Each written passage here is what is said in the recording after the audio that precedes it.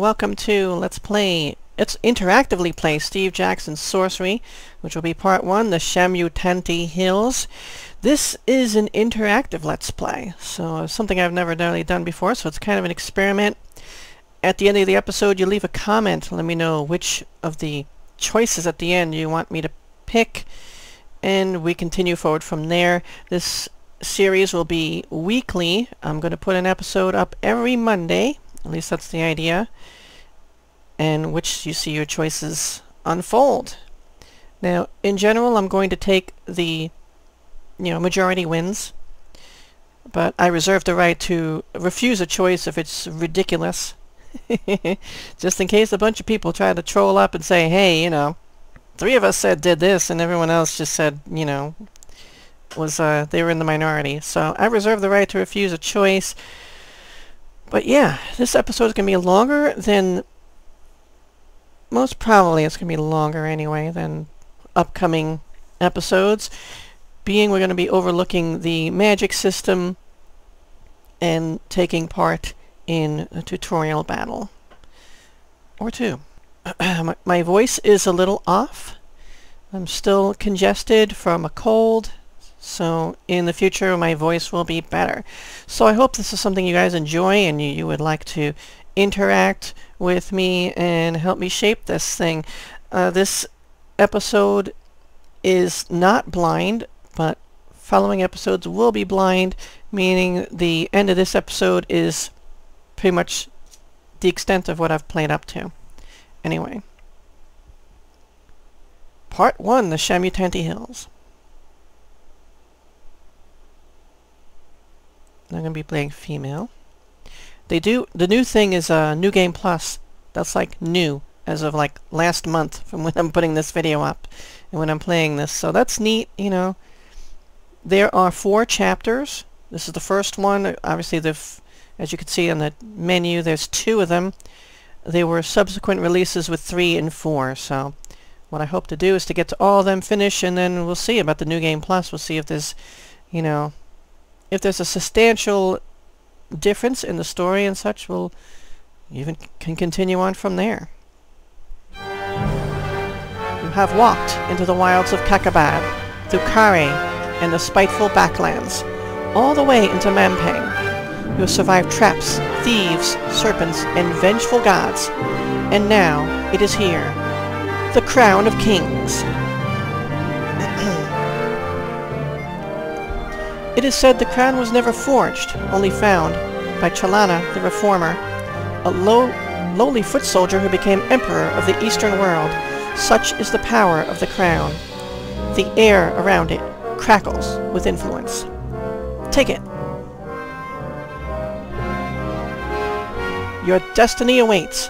With the crown in your hands, you will be as powerful as Chalana. The goblins are arming. The giants are waking and the Birdman carving cruel daggers from stone. War will come, but you will prevent it. But then the image of the crown begins to flicker. You rush forwards. It's a trap! And startle yourself awake. You are alone, exhausted, in the little hut in the outpost settlement. Your unimaginable journey is not even a single step begun. Inkle presents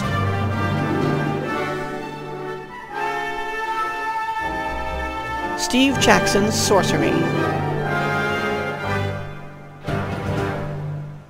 Dun, dun, dun. Part 1, The Shamutanti Hills.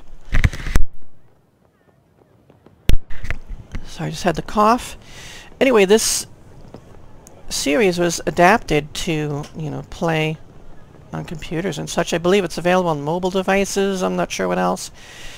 Based on an old series of game books of course released by Steve Jackson Games in the 80s, and which was then released um, a decade or a decade and a half ago, re-released, and now it's available, you know, to play in digital form. Anyway, this is like a spirit animal or something like that. You click it, it flashes, I don't know what else you can do with it. Of course our stamina gold rations. This just centers the map on where you are. We don't have any items. This is a rewind feature. Guess we have nowhere to go. So you can scroll out and see just where we are on this map. we have a lot to explore. So, looking forward to exploring and sharing it with you guys. So you go center. Whoop. Anyway, I think we're supposed to hit this, are we? No. We click on here, yeah. It is sunrise. You dress. Breakfast on bread and goat's milk, and collect the pack and sword from beside your bed.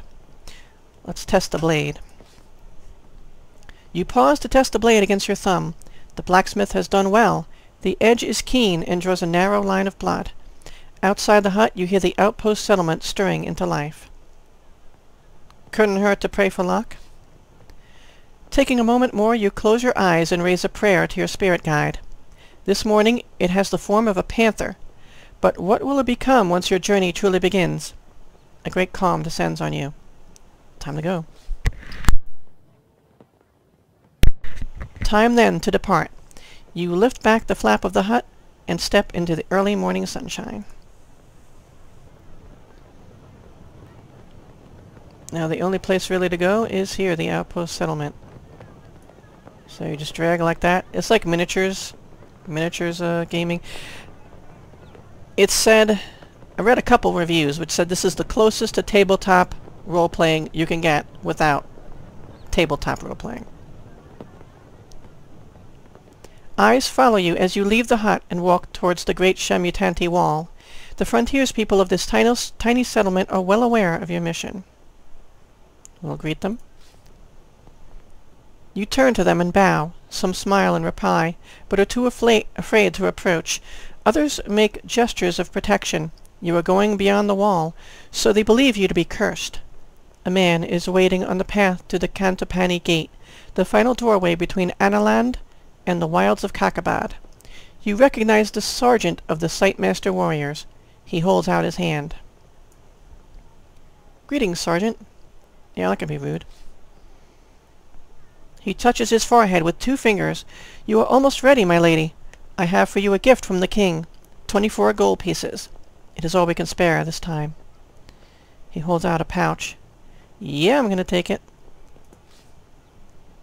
You accept the gift graciously. Thank you. You should buy some supplies before you pass the wall, the sergeant said. And you must collect your spell book if you wish magic to aid you. Finally, should you wish to practice your sword play, I will go one last round with you. And he points with his staff towards the training ground. Let's collect our spell book. One of the huts, set slightly back from the others, is decorated with glyphs and strange symbols. A terrible smell emanates from its doorway. This is the hut of the chief mage. He has been preparing your spell book for days, reading star charts to work out which spells will be available to you in the different locations in the hills and beyond. yeah, I want spells. I'm not going to do without the book. You lift the flap and go inside.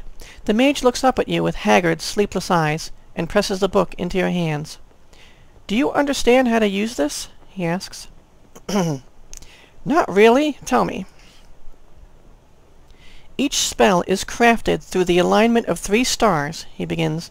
The spell Zap, for example, is made by aligning Zarathustra, August, August, and Pini. But that is not important. What matters is that the spell is called and what it does. Zap will give you control over lightning. Hot will create a fireball. Faf will create a force field around you. Shall I continue? Tell me more. The mage nods. The law spell is formed from Lilith, August, and Wax, and it will allow you to control the will of unintelligent creatures. Charm spell. The wall spell is quite different and uses different stars. The order matters, you see. Wall creates an invisible barrier. You will find the rest in the book. He adds, tapping the leather-bound volume. I want to know more. The mage looks surprised. Well, the Dop spell is useful for locks. Wok will shield you in battle and form up a nice dish, and Dumb will cause clumsiness. He scratches absently at his ear. Remember, some spells will cost you effort to use, but the ones that don't will not work without a focus, an item of some kind. You will need to read the book to know what. You can research by using the spell book on the map. Okay, so now we have items. Can access our spell book here as well. All we have is this sword. This can't get any information about it. Treasure. 24 gold pieces. Here's our spell book. You can also just click here. Sorcery Spellbook. this volume contains the 48 spells of the High Craft, as discovered and passed down from generation to generation of sorcerers from the earliest days of the Eastern world. Each spell is formed of three letters, and each spell will take energy to cast. Furthermore, some spells will fail without the use of a particular item or focus. Now I'm going to read up on all the spells here, guys. I'm going to put a link, um, guessing somewhere around here down the bottom, if you want to just skip it and continue. The six most useful spells. If you learn only six spells for your adventure, learn these. Zap creates a lightning bolt from the fingertip. Faf creates a protective force field. Law enables non-intelligent creatures to be controlled. Dumb makes creatures extremely clumsy. Hot creates a fireball which can be aimed at enemies. And Wall creates an invisible wall. All these spells are extremely tiring and will cost you 3 points of stamina. More economical versions exist, though some rely on the caster owning particular items of power. Zap.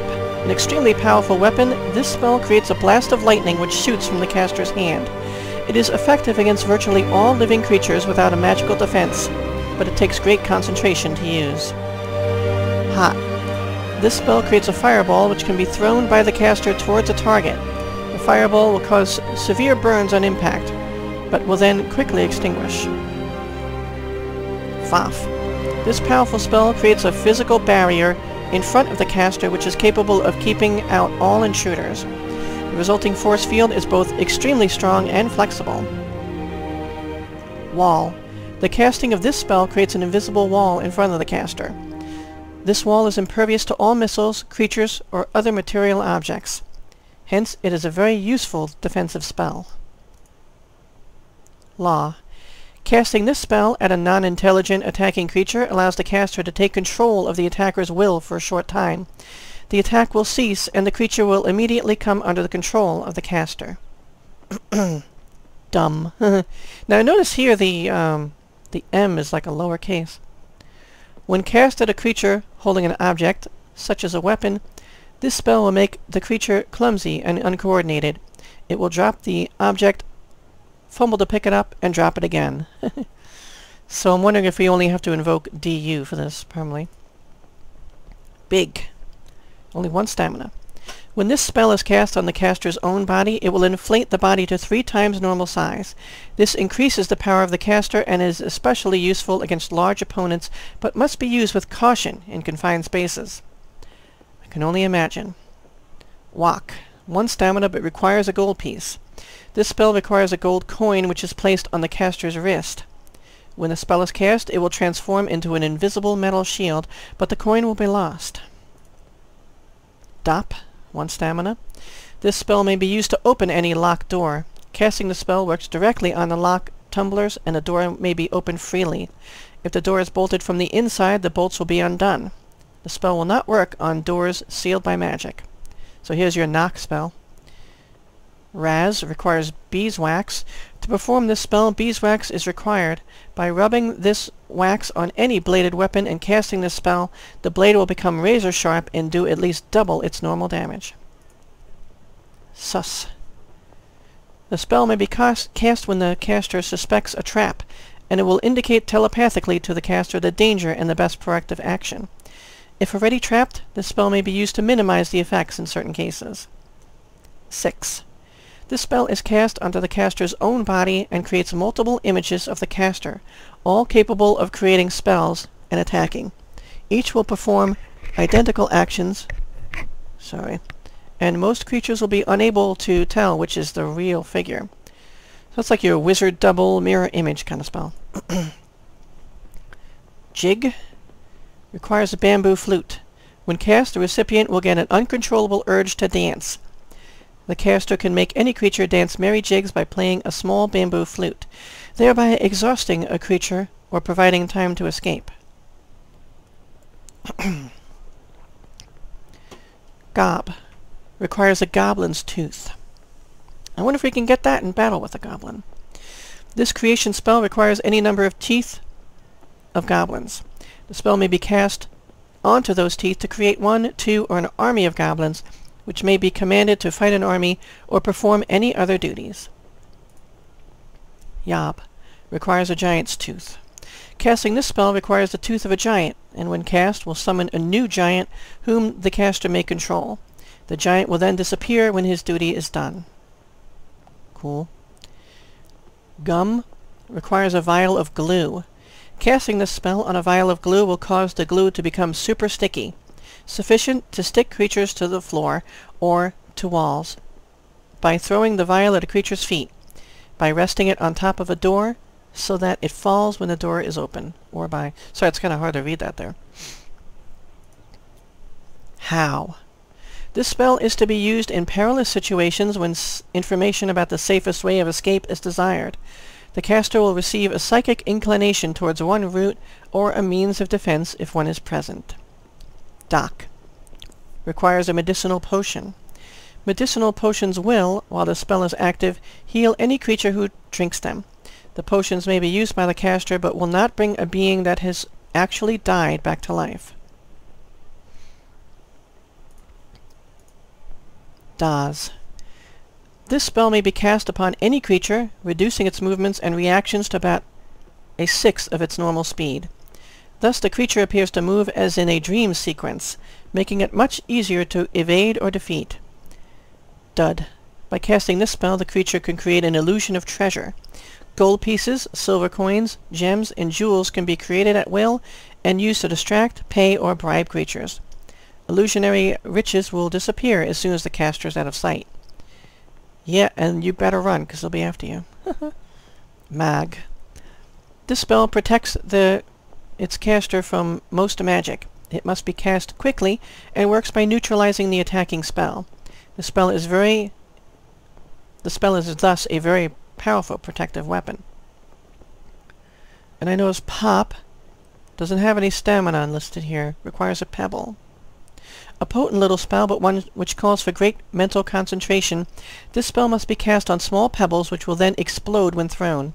These explosions produce great force, as well as a loud bang.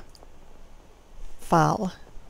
The spell is useful if the caster is caught in a pin oh, sorry, pit trap, or falls from a considerable height. When cast, it makes the caster's body as light as a feather. The caster will float down through the air and land gently on the ground. Dim. A good defensive spell, this can be cast at any attacking creature to muddle its mind. However, it must be handled with caution, as a deranged creature may act unpredictably. Right. It might attack you anyway. It might attack someone else. It might run away. Who knows, right? Fog. Interesting. It's all black. This spell may only be cast in a closed room with no windows. Once cast, the room turns pitch black in the eyes of all but the caster, even though torches and candles may still be burning. Therefore, nearby creatures will be temporarily blinded.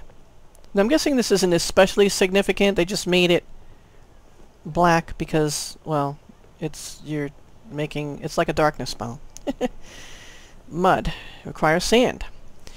While casting, the caster must sprinkle grains of sand onto the floor to create a pool of quicksand. Any creature stepping into the quicksand will be slowly sucked away. Nif requires nose plugs. this spell causes the air to fill with a nauseating stench so vile that any creature catching a whiff will need to vomit. This includes the caster, unless they are wearing nose plugs. The effect is more pronounced on creatures with large noses. That's interesting.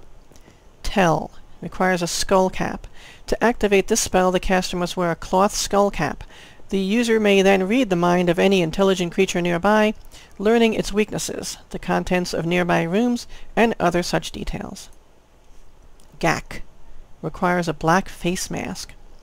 Casting the spell while wearing a black face mask will create a terrible fear within another's mind. Brave creatures will suffer a cold sweat, while cowardly ones will be redu reduced to cow cowering jelly. Hmm. Sap. The effect of this spell, which is only useful in combat, is to demoralize an opponent so that his will to win is lost. Any creature so demoralized will be easier to defeat, though victory is still not certain. God. Requires a jewel of gold. When this spell is cast, any creatures or humans nearby will take an immediate liking to the caster and will offer aid and information. This illusion spell can only be performed if the caster is wearing a jewel of gold. Kin requires a gold-back mirror. In battle, a gold-back mirror must be pointed at a creature when this spell is cast. An exact replica of the enemy will then be created under caster's control. However, should either creature die, both will disappear. Okay. Pep. Requires fire water. A potion of fire water, taken while casting this spell, will give the caster double or triple their normal strength. The effects are temporary, but usually last long enough to aid in battle or enable some feat of super strength. Rock. Requires stone dust. Double, yeah, strength spell. Um, special stone dust must be thrown at a creature at the spell as the spell is being cast. Within seconds, the intended victim will petrify, quickly becoming a gray stone statue. Nip. Requires yellow powder. The caster must cast a spell on his or her own body. The caster will then become exceedingly quick and may run, speak, think, or fight at three times normal speed. However, this spell requires the caster to sniff yellow powder before casting. Huff. Requires a gale horn. This spell is cast on a gale horn, a trumpet-like instrument with a discordant note, causing the horn to create a tremendous wind. The wind is capable of blowing over man-sized creatures, but can also follow things off shelves, over ledges, and the like. must be getting near the end. Fix. Requires a staff of oak sapling. Applicable to both animate and inanimate objects, this spell has the effect of holding an opponent or object in one place, even in midair, until the caster leaves the vicinity. A staff of oak sapling is required. Nap requires a brass pendulum.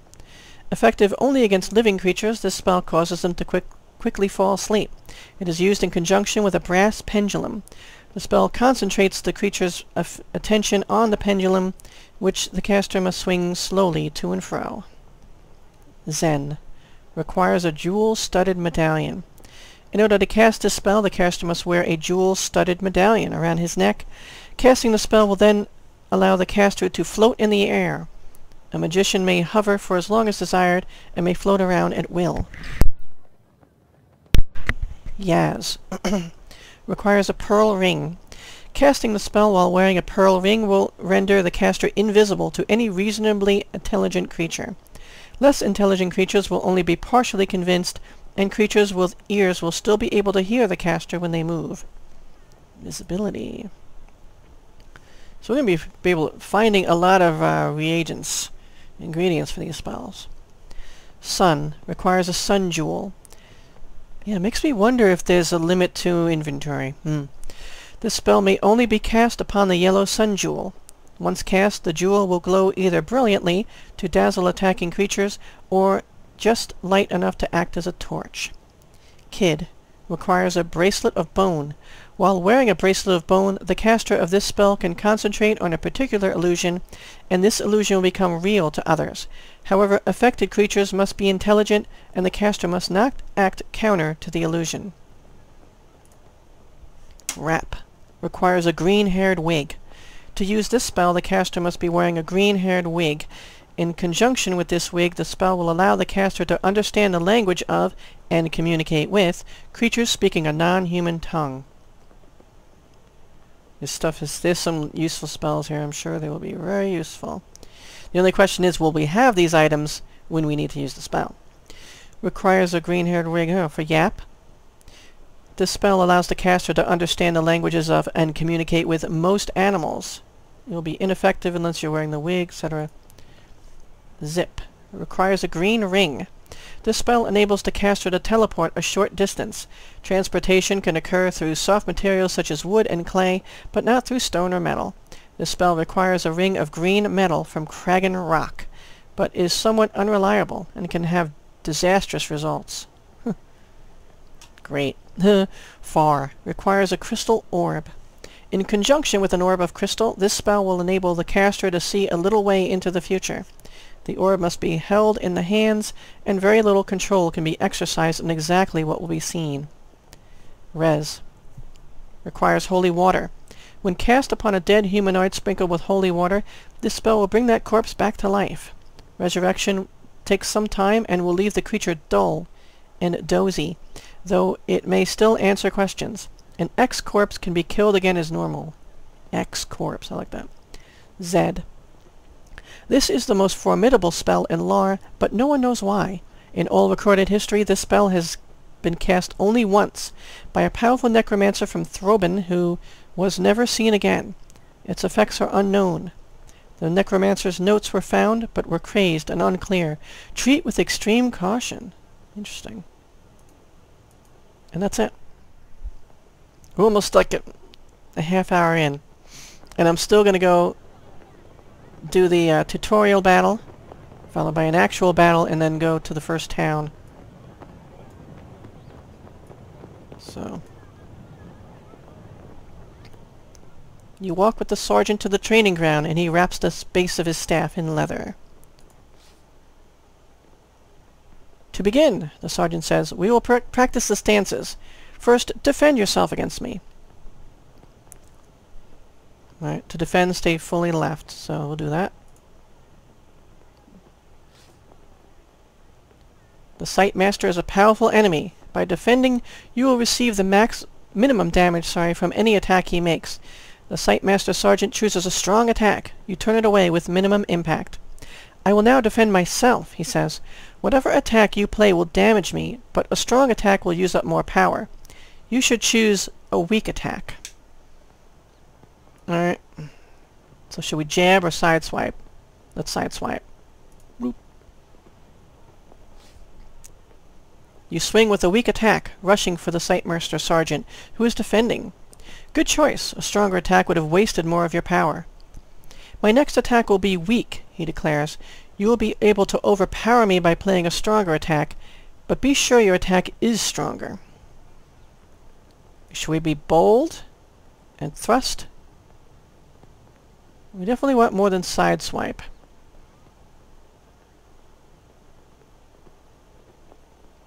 Yeah, why not? Let's thrust. Da -da. You play a strong attack, overpowering the Sightmaster Sergeant again, who tries a low, careful attack. Overpowering a weak attack is easy, so you should aim to use as little power as possible. The enemy's stamina is at the top. If this reaches zero, you've won the fight. Uh, okay, you mean at the top. Not currently at the top. My next attack will be one of my strongest, he declares. If you can perform a full attack, you may overpower me, but otherwise you had best defend yourself. I'm going to defend. You defend yourself. The Sightmaster Sergeant attempts a strong attack, but you receive only a small amount of damage. He will be weaker now, so his next attack will be lower. My next attack will be of medium strength, he declares. You may be over able to overpower me if you wish to try. Okay, so they give us a warning when we... Oh, we only have cut... I don't have thrust. I guess I can't use thrust. My attack power is low.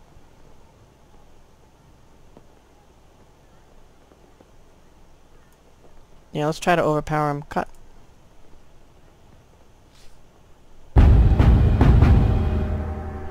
You choose a powerful attack, overpowering the Sightmaster Sergeant. He bows.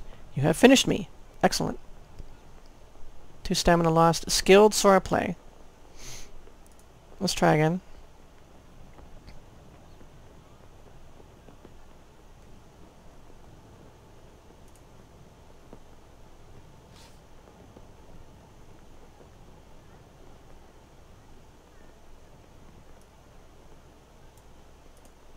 Jab.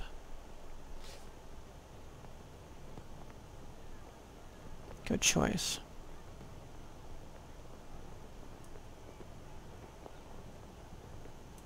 Side swipe. You played carefully and won that round. Well done.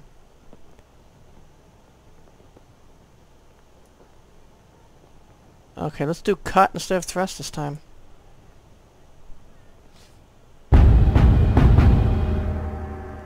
One stamina lost. Skilled swordplay. You seem to remember the basics, the sergeant says breathlessly. Good. Another round? Train again only does... Yeah. Enough training? You shake your head. Very good, the sergeant agrees. But if you wish about in earnest, then I warn you, I will not go easy on you. He indicates the wider yard where there is space for a true match. I didn't buy rash rations, rations yet. Let's do that now. Small traders in the settlement supply the Sightmaster warriors with weapons, armor, food, and clothing. You go over with the sergeant to a stall selling flatbreads and cheese. Two gold pieces per ration, the owner says. Let's haggle. Do you know who I am? I am Analand's great new hope, you tell him. The man looks uncomfortable. I know that, but I have to feed my family today, whatever happens to the crown. Let's buy two. You hand over your coins and the man places two rations carefully into your pack. You must be sure you eat every day or you will suffer, the sergeant tells you, standing at your side. Eating more will give you extra strength, but it is not necessary. So we can look at items. And here's our rations.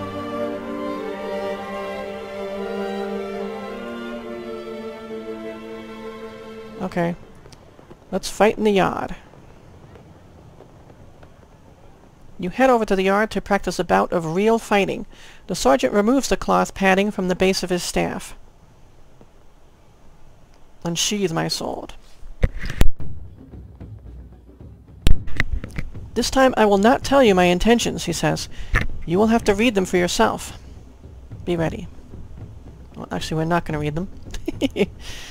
uh, I'm going to defend, being in the tutorial, he started out with powerful moves, right? The Sightmaster bows to you, taps the ground with his long staff, and readies his stance. You drop into a defensive crouch immediately. The Sightmaster is not to be trifled with. The Sightmaster Sergeant comes in with a tough blow, balancing his strength and his impact. He shifts his grip to hold his staff more closely. He seems to be preparing a simple jab. A chance to overpower him, perhaps? Let's do cut.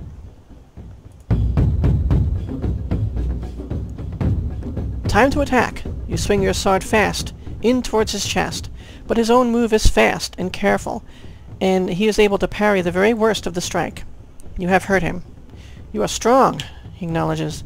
You see his grip change on the heel of his staff as he readies himself to strike again.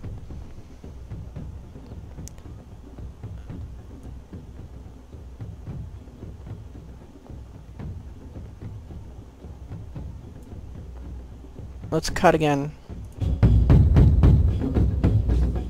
Ow. In the next moment, the Sightmaster Sergeant is rushing in for you. Your own strike is overpowered. His own blow is of medium force, but enough to knock you reeling. The impact of his hit is hard and sends you tumbling across the dirt. From the sidelines, the people of the settlement watch with gathering despair. Well, yeah, I guess I should have defended at that point.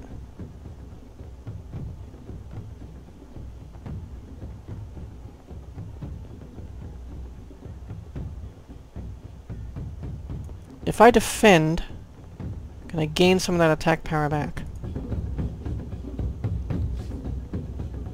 You drop yourself into a crouch. His light blow sails over your head. You escape mostly uninjured. His eyes follow your shoulders. He's probably about to defend himself. You realize a strong hit would be wasteful now. Let's sideswipe.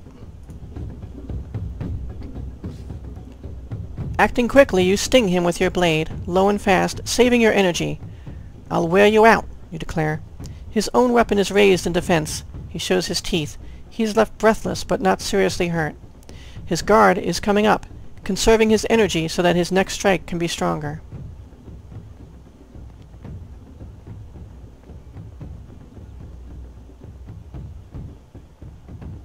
Should I try to overpower him? Boom.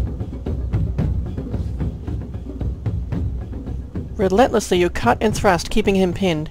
You rush forward with a deep, heavy slash, but the impact clangs against his defending staff and you lay only a minor wound. He grimaces with effort. The Sightmaster shakes his head. Not bad, he grunts, clearly weakening. You see his arm grow tense. He is readying for a strong attack. Let's defend. You whip up your defenses as he powers forward with a cry. It only tires him out. You are largely unhurt. He watches your footwork closely. You hear observers in the gathered crowd murmuring expectation. But do they expect a violent blow from him or from you? Cut. Leaping into action, you sweep your sword across his body with a powerful force, but the blow jumps back off his lifted staff and you place only a small bruise. He grins. His breath begins to heave. He is struggling to stay upright. I can only sideswipe now. Ow. That's no good. Then the Sightmaster Sergeant leaps to your left and attacks. Your attempt to fight back is knocked aside. His own strike is of medium force, but more than enough to send you backwards. The impact catches you in the stomach. A mutter goes through the crowd. The king is truly weak to send such a champion. Their words spur you on, to stand once more, and narrow your eyes at the sight at the Sightmaster. Hmm. We can only sideswipe. We're not doing so well this time. The sergeant's light stinging jab makes a mockery of your own attempts at swordsplay, swordplay. Were this fight real, he promises, I would have taken your arm. He feints left. Yeah, not doing so well, huh?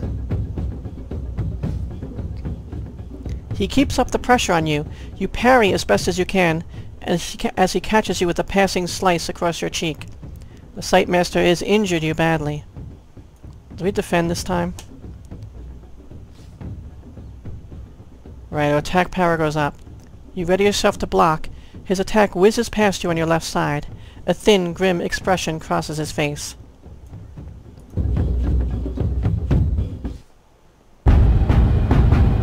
Damn, we didn't do so well.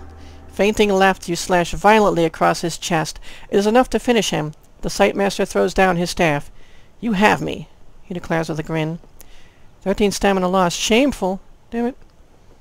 I'm not going to try again. The sergeant is gasping for breath. He bows to you once more. You are too slow, he declares, shaking his head. I will tell the king to ready another champion, for you will not survive long. As he talks, a nearby healer hurries over with a salve, and your health in the sergeant's is quickly restored. Damn it! Now, I don't know if I could have used spells during that battle.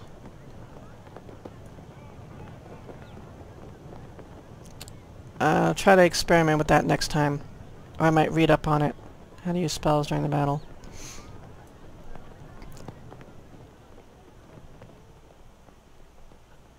Or, I don't know, if the spellbook is visible, I probably could have just cast on that. Maybe I should have used that. But anyway, it just takes up your stamina anyway, which I needed, right?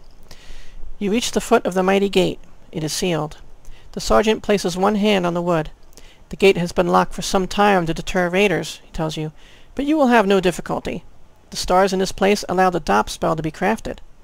And he stands back. Cast a spell!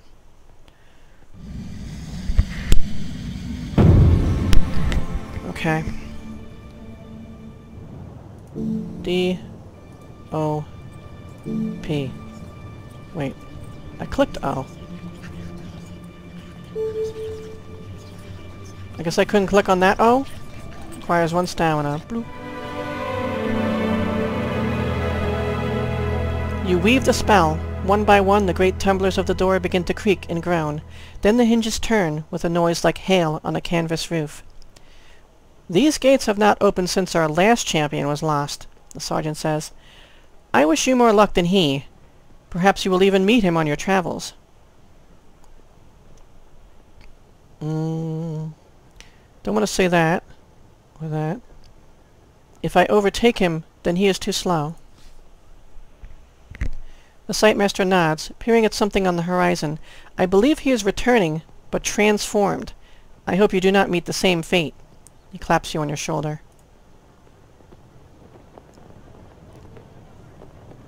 Alright. Together you step into the shadow of the wall. One last word, he declares. When you have the crown, find the highest point you can find. We will be watching. Watching from where? From here. The Sightmaster warriors are selected from birth for their incredible powers of telescopic vision. You cannot help but wonder how far he can see. Tell me what lies ahead. This path leads first to Cantopani, a settlement of traders, though most are rogues and thieves. You should be there before the sun has reached its peak. From there, three routes lead on to Kristatanti, but no single route is safe. Kakhabad is a land of devils.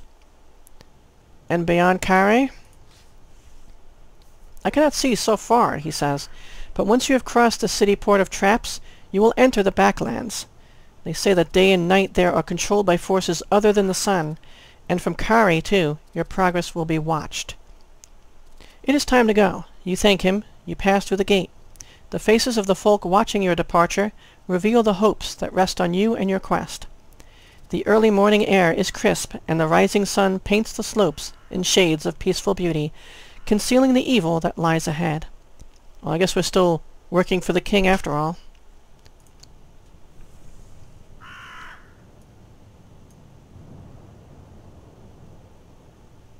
The path winds through the slopes of wild scrubland. The countryside is deserted, and the eerie silence is broken only by the cawing of the occasional crow. Can't hear that. Pretty awesome. There's a spell for hearing what they say, but you do not have the equipment it requires. Nope. The birds appear to pause in the air to examine you as they pass. They make you uneasy, as if you were an intruder in their presence. You know about you, you know what they say about crows. They recognize faces. Uh, keep walking. Barely an hour beyond the wall, and the air begins to grow foul. The Shamutanti hills are infested with the pestilence of the backlands. It saps the energy from your body, leaving you feeling nauseous and weak. Now isn't that... I even noticed that at first. Our stamina has dropped to a maximum of 10. Just from walking through here. I mean, I guess there's nothing we can do about it. Cover my mouth. You cover your mouth with your, with your neck scarf, but it does no good. They warned you of this. You will grow accustomed to it the longer you are out here, but for the moment you must be very careful. Your maximum stamina just decreased. You can see your stamina at the top of the screen. If this reaches zero, you will be too tired to carry on.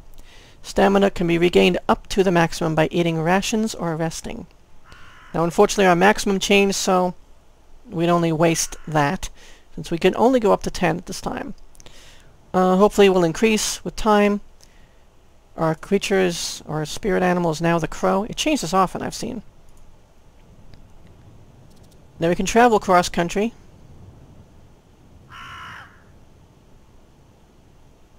Or we can come to this low rise, which I'm going to do that. I considered this making the end of the game. You know, should we go here or there? But I figure most people choose the low rise. I don't know. What do you think, guys? Anyway, we're going this way. Another hour passes, and you crest a small hillock, from the top of which you can see the path continuing downwards into a small settlement of huts. This must be Cantopani. Look at the village. From this distance, it's hard to make out much about the town, except that it must be desperately poor. The fields on either side are brown with caked mud, and a few penned animals are thin and wizened, like thirsty vines. No wonder the Sightmaster warriors don't trouble themselves to protect this place. There is nothing here to protect. Now we can avoid the village, or go into the village. Now I keep panning out, but I don't think you have to. I think you're just going to automatically span out to show you, you know, all your choices on the screen at once. So I'm going to go to the village. Now again, guys, as far as the choices, you'll see them. This is a long episode. Most episodes will be closer to a half hour. Uh, could be 20 minutes, could be 35 minutes. I'll try to keep it less than 40. I'll try to keep it close, closer to 30. But if I come across a really important you know, choice, uh, I might just stop there. So you might have some smaller episodes, but nothing like this. We're already we're going to be 50 minutes with this thing. So yeah, the spells you could have you could have uh, you know skipped um, with the on-screen annotation or by going forward to the time I put. So yeah, that's that took up a lot of time in the tutorial. There's really no choices there. So of course, if you cannot handle a town like Cantopani, then you could not hope to survive in Kakhabad proper. You follow the path down into town. The round huts are made of hard-baked bright clay, and the roofs are thinly hatched. As you pass, eyes appear at dark doorways, tracking your every move. For a moment you think they will allow you to pass unchallenged, but then a villager appears from one of the dwellings and blocks your path. Now as far as the choices, guys, um, I don't want choices from walkthroughs. So please don't base your comments on looking up a walkthrough and saying, hey, you should do this. Of course, I cannot verify whether you've done that or not, but what my um, desire is to have you bl play blind along with me. Of course, some of you may have already played blind, um, already played it yourself, you know, so you know some of these options. But as we expand, as we continue throughout the game, it branches off into so many directions that I might go somewhere that you've never seen or have never been to. I might have array, an array of choices which you never got because you went somewhere else or did something else. So that's what makes it interesting. That's why I feel like it's it's really good, really well suited to an interactive uh, Let's Play. So you guys can experience it along with me and see what the hell happens, right? If I do this or attack that or say this, you know, whatever. Go there. Uh, let's look at him. He is five feet tall. They cannot grow much taller out here in this poisonous air. He has thick-set arms and thighs and is half clothed in tattered breeches. His eyes are wild, and his long red hair and beard stand out from his face in a wiry tangle. Halt, stranger, he commands. What business have you in Cantopani? I need directions. To where? he demands. I am on my way to Khare, you say. I have never traveled this road before. I have myself never left this village, the man declares with pride, although I can tell you there are two paths ahead, but my advice is not free. You must have money on you. For a gold piece, I'll tell you what I know. I'm going to conserve. I will find out myself. For, I will find out for myself for nothing. The man shrugs. That you will find out for yourself, then. And he stands aside to let you move on by. You stride into the very center of the village. There are a few larger houses here. Even Cantopani has its nobility, it seems, but the only spot of interest is a small inn offering food for sale. Let's go to the inn. We're almost done, by, by the way, with this episode, guys, just in case you're wondering. you head inside. The place is just a low table and a black iron pot above a stove. A woman watches you with wide, fearful eyes. Greet the woman. Greetings, you declare, bowing slightly to the woman. The gesture appears to make her more afraid, not less. How much are your provisions? One gold piece for the stew, she replies in thin, hungry voice. But perhaps you want some food to take with you, seeing as how you're a traveler. Yeah, let's ask for provisions. I need provisions I can carry, you reply. I have a long journey to make. She seems to size you up, then decides you to be trustworthy. I can give you bread and cheese for two meals, she says. Two gold pieces. And she lifts a cloth from a surface behind her to reveal a stack of food. Now I would decline this, but I don't know how long to the next village. I'm not going to strike her down. Haggle. Your price is too high, you tell her sternly. One gold piece for one meal's worth, then, she replies. But if you think I can, I can afford to part with it for less, look around. Okay. That said, I'm going to buy two, anyway. Well said, you reply, and put two coins in her hand. You hand over your money, which she tests between her teeth before slipping into a pocket of her tunic. Then she wraps some provisions in a dirty-looking cloth and hands it to you with something that is perhaps meant to be a curtsy. Good travels, she wishes, and you bow in return. And good luck to you. You leave the inn, you head out of Cantopani and along the road into the Shamutanti Hills. Yes, I do. Passing the outlying huts, you feel strangely uneasy. Hissings from within and sly faces disappearing from doorways make you feel decidedly unwelcome. Then, at the edge of town, you pass a large boulder, and at once two rough-cut villagers spring out with swords dr drawn. Bandits. Two against one, the first declares. You're lost, calls the other. So hand over your things, come on. Okay. Now, here's where you guys help me out. Tell me what I should do. Leave a comment. Should I hand over my backpack? Hmm, really don't want to do a deal, do that. Uh, should I reason with them? Or deal with these cars? Which means attack. What do you think? Hand over the backpack? Reason with them? Or deal with these cars? Leave your comments, you know, below. And it's most probably going to be, you know, majority wins. Uh, but, uh, yeah. If I get... If I don't have a majority, then I'm gonna choose. I'm gonna choose one. So thanks for watching. If you like, yeah, let me know what you think I should do, or just watch. Either one. See you next time. Next Monday. And endure. In enduring, grow strong.